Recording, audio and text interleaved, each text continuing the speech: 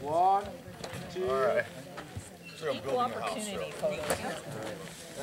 This is after dinner at the um, at the covered wagon. We had, yeah, we had a terrific dinner. They had um, potato salad, coleslaw, pasta salad, corn on the cob. There was four different kinds of meats, uh, ribs, chicken wings, mm, beef, and it bakes like a baked wild salmon. It was delicious.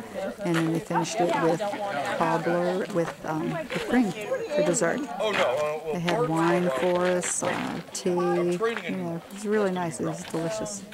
Martin doesn't have fun. Yeah, they're not. He's old enough where he's seen them all. He's got a Hey, John, look here. John, honey, hi.